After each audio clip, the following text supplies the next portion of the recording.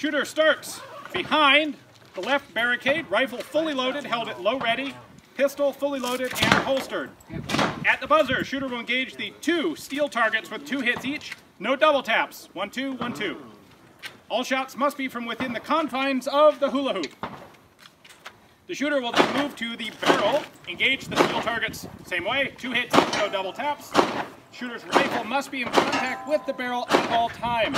Shooter will then move to box A, the yellow box, and engage each target two times, same thing again, one, two, one, two. Shooter will then move to the table, ground rifle, and neutralize all six steel targets. All paper on this stage are considered no-shoots. Each hole in the target is a 15-second penalty. Not firing in the manner prescribed will result in a 5-second penalty per shot. All other standard rules apply. You guys ready to play some airsoft? Hit! Hit! Hit! Hit!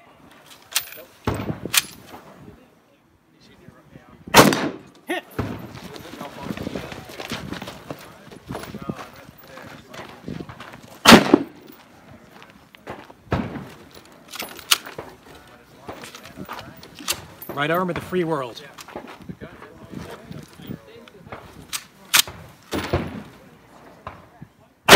Hit! Hit! Hit! Hit!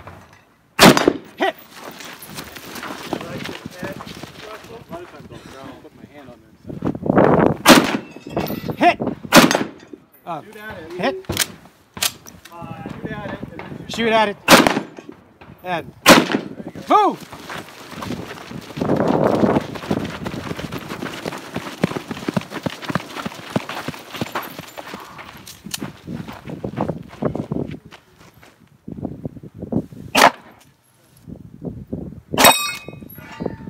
No, that was not supposed to happen. Yeah, just send a round at it.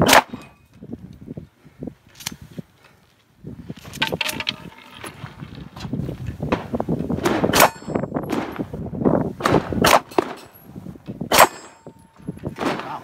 Okay.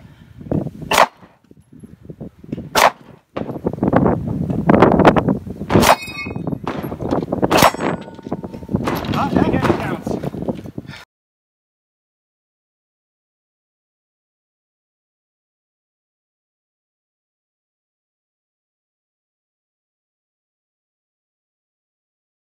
Time to reconfigure to AR mode.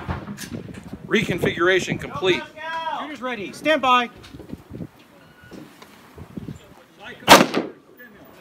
Hit. Hit. Hit. Hit. Move.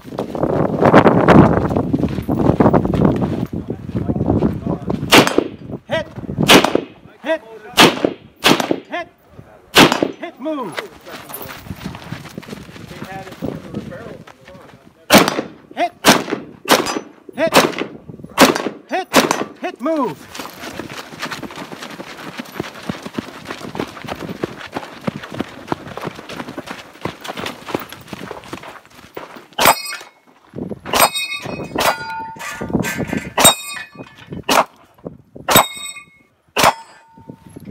Impressive.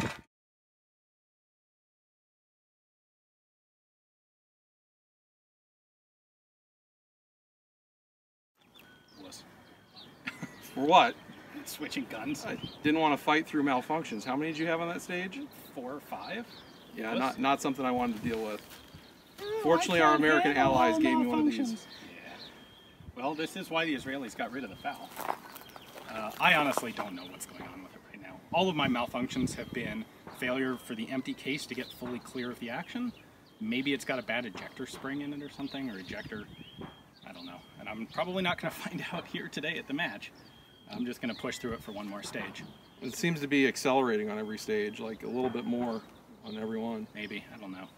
It's depressing to think about. Uh, the pistol was also depressing to think about.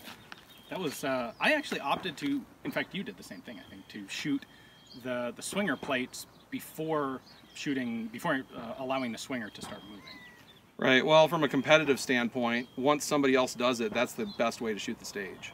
If the if the activator has been mandated first, it would have completely changed the shooting challenge.